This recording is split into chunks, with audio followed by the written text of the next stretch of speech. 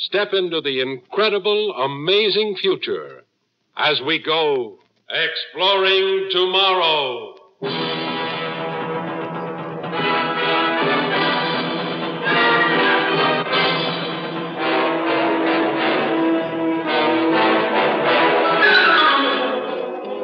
And now, here is your guide to these adventures of the mind, John Campbell, Jr. Hate and love are really quite close to each other. Usually, hate stems from a misunderstanding of something which, properly understood, would make love. One of the concepts that many people don't see, miss, uh, just get all wrong, is the fact that there is superiority and there is inferiority. But those things are specialized and narrowed into special areas. If you don't recognize them, the system won't work at all. If you do recognize them, well, you know, each must then recognize two things that he is superior and that he's inferior. This is a story of a man who hadn't learned, hadn't found out the importance of special superiority and special inferiority. Phil, are you ready for a drink? My name is not Philip. My name is Senga. What? Nothing. You'd better drink this. Thanks. To our last night on Earth for some time to come. Or better yet, to this house where I was born.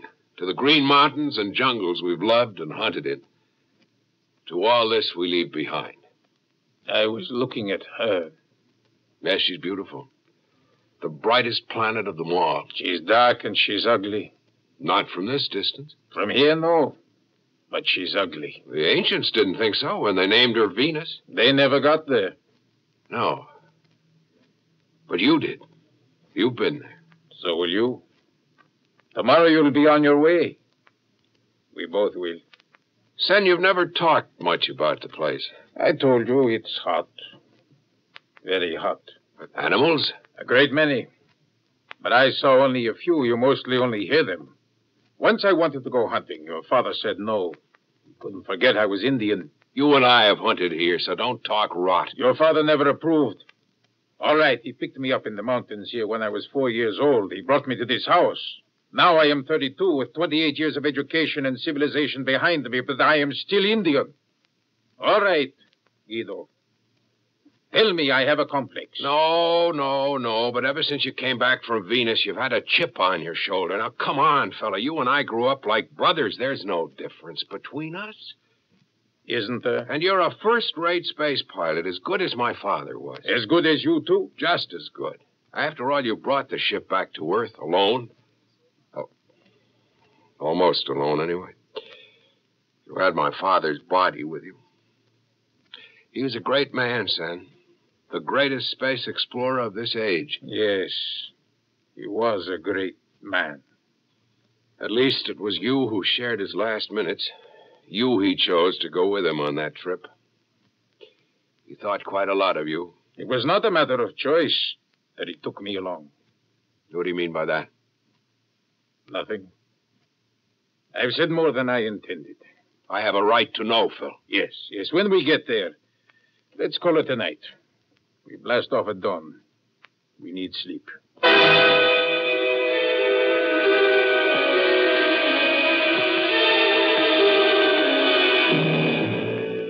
Green light. Blast off.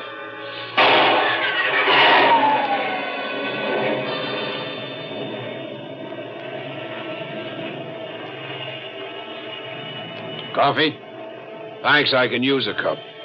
A quarter of a million miles out in space before morning coffee. Not bad, eh? Phil, Yes. But my father was not the first man to land on Venus. But no one else, so far as we know, found diamonds there. No one else ever went to the right area. Besides, you use the word diamond in the plural sense. The singular would be more correct. The peak of this mountain is one solid diamond, pushed up there from the interior by volcanic action. A slab of diamond that must weigh 7,000 tons. If it's true, then diamonds back home will become absolutely worthless. Not immediately. And what happens later will not concern us. Why didn't you bring back a sample?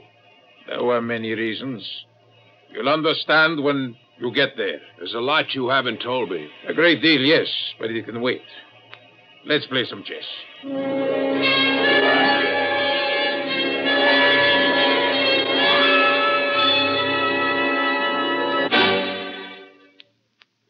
Exploring Tomorrow continues in just a moment. All of us, as American citizens, believe in our inherent liberties and freedoms, such as the freedom of association, assembly, and action. But if you will read the First Amendment to the Constitution, you will notice that it is worded Congress shall make no law abridging the right of the people peaceably to assemble. Whatever the association, assembly, or action, it must be accomplished peaceably. We are given the right to petition, for example, but that right cannot be used to bring malice upon others. We must assume the responsibility for the purposes and actions of associations and assemblies. And if we accept that responsibility, we ensure our freedom. When a kid grows up at a certain period of life, he stops being a child, and yet he is not yet a man. He's an adolescent, somewhere in between. This is one of the most critical areas of development. This is where we have our juvenile delinquents starting, becoming what they are. The juvenile delinquent is an adolescent gone wrong and misunderstanding. An adolescent is in the problem of inferiority and superiority. He's inferior to his parents.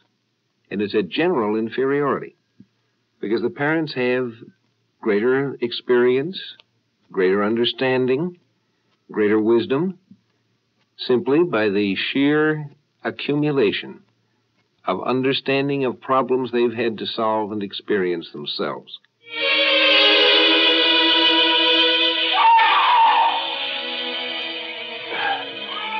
We have to walk about a quarter of a mile through the jungle. Then we start to climb. What? What's the matter? Maybe hallucination. You saw something? No, someone. Oh? A man, half naked, a savage. You saw him, too. Yes. I glimpsed him. There are people here. That's right. You told the newspapers you saw no sign of people. I didn't feel like telling the newspapers all I saw any more than your father did after his first trip here. Oh, yes, Guido. He knew about these people. He never told anyone. They're human like us. Descendants from a group of people who came here from Earth millions of years ago. People more advanced in science than we are today. Only through the years they lost their knowledge, reverted to the jungle. At least, that was your father's theory. Are they hostile? I'm not sure. They've seen the ship before, of course. Yes, they've seen it before. They know we come out of space. It's fantastic. Descendants of Earth people. It's, it's as fantastic as your Diamond Mountain. The Diamond Mountain is very real. Come. We have a long walk.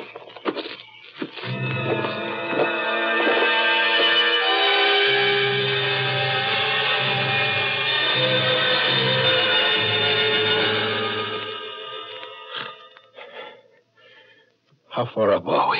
About a thousand feet above ground level, I'd say. The air's thin.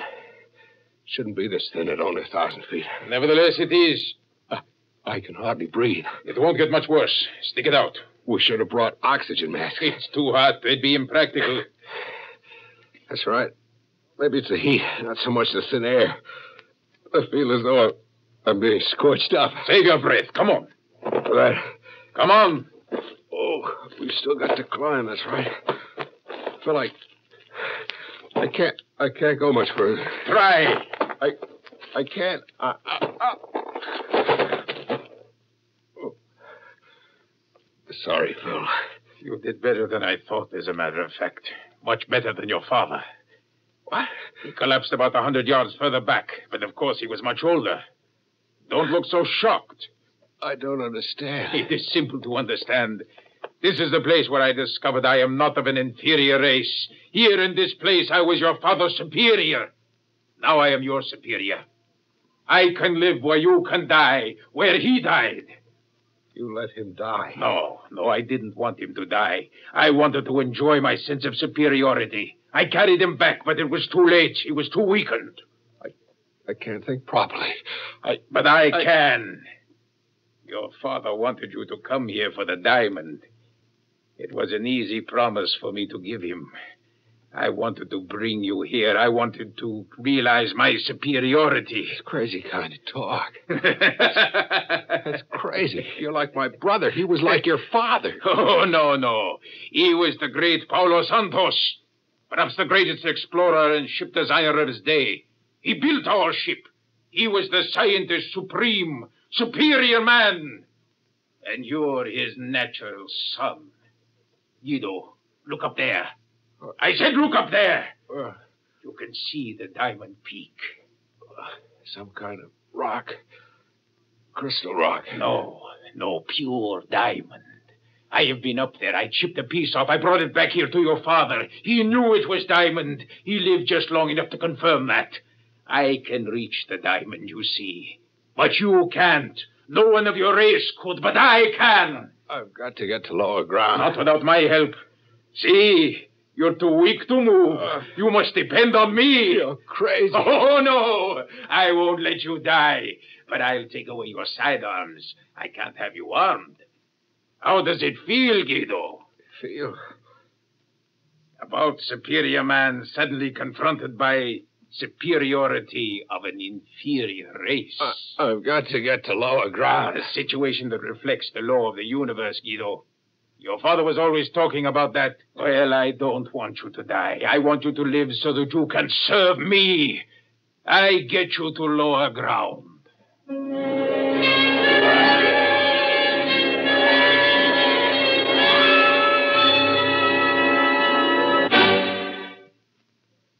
You know, hate has a very real place in life. We need it. Man is unique among the living things on this planet in that he does have hate. Man hated the wolf. He hated the cave bear. He eliminated those species that were just not tolerable. Hate has a good side. Hate has a place. The difficulty is when the hate is misplaced, when it is generalized and not specialized to the point where it belongs, to the thing that is really wrong. I'm afraid Phil misunderstood and had his hate directed in the wrong direction. It wasn't a race he hated. He just thought he did. What he hated was to have someone who was older and wiser than he himself. And now he had misplaced it to another guy who was trying to do a good job with him. You won't have any use for sidearms, so don't try to get them back. If you do, I'll kill you. What do you have in mind? I have a plan, but I'll need to have the help of the people here. You can't reach the diamond, but I can, and so can they. Our job is to get them to carry the drilling equipment up that hill so that I can start chipping the diamond. You think they'll work for you? They're afraid of me. After your father died, they attacked, and I had to kill some of them with a blaster. That's why they don't show themselves now. It may take a little while, but I've got to make them understand that they must do what I want. Suppose you succeed. Well, when I leave here, I'll take away enough diamond to convert into enough cash that will make me just about the richest man on earth. Once I've done that. I... What about me? You? Won't I be an obstacle? No. You'll do away with me. Not here.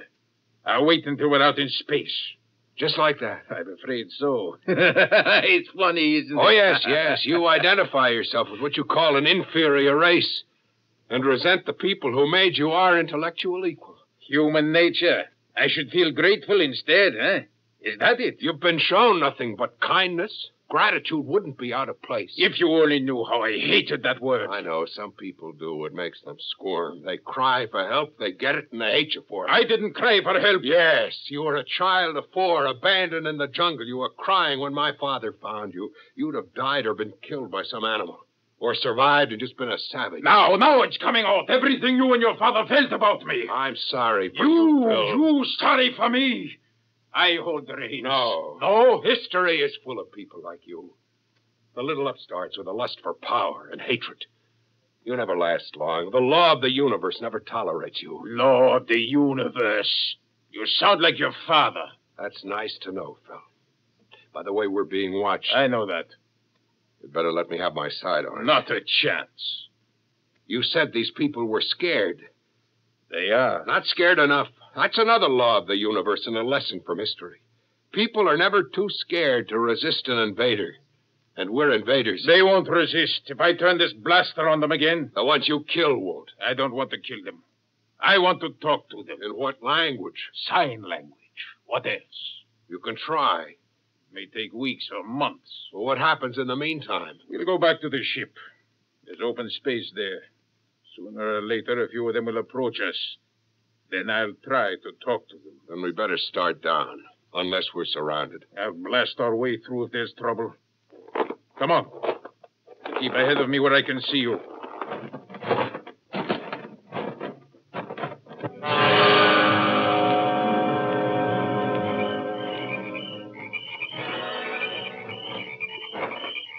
No trouble. You see? I'm sure I spotted a couple. Shadows. All right. We're about a quarter of a mile from the ship. Come on. Keep in front. Get down. A slingshot. A piece of rock. Yes, it hit this tree instead of one of us. Piece of rock. Here it is. A diamond the size of a small egg. Diamonds for ammunition. This planet must be crawling with diamonds. Keep down. I blast them to kingdom come. Mm, I'll bet we're the first ones in history to be stoned with diamonds. Better pick 'em up. You pick them up. If I could just see what those savages are. They're not too close. We can't stay here. Come on before they close in from all sides. You may not have time to shoot in all directions. All right. We push on.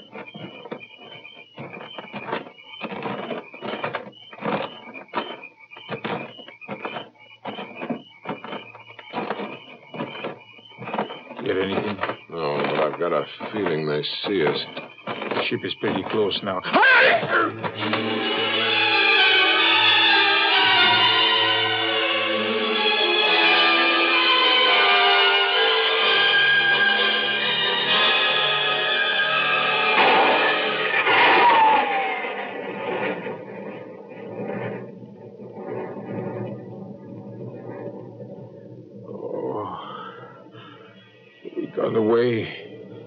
Use a gun once. Better keep quiet. You have a nasty cut on your head. We're going back to report to the World Council. Every country in the world has a stake in this matter. The Council will decide what to do about the diamonds, not us. Why didn't you leave me there? To them. Let's say two basic laws came into conflict. The law of the universe decreed your death. You're alive only because of the basic law of civilized human nature compassion. You've still got to learn that, Phil. Nothing will change that.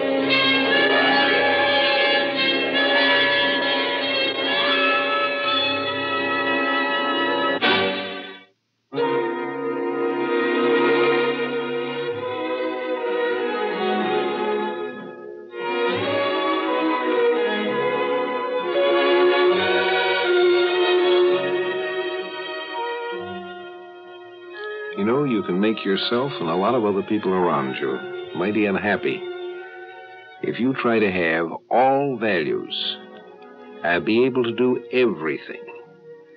Consider yourself uh, tops at anything around. None of us has that ability. We can't do it all.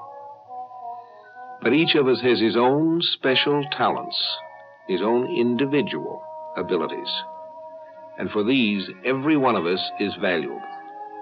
And every one of us needs every other one for that special individual talent. No, no individual is everything. The other guy's got something you need.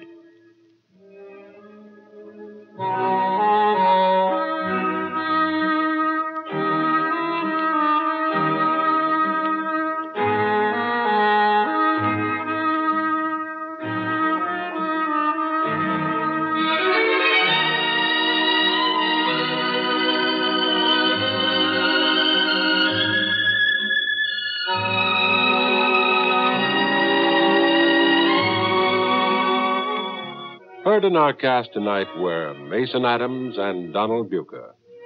The script was by John Fleming. Produced and directed by Sanford Marshall here in New York. This is Guy Wallace speaking. We pause now for station identification.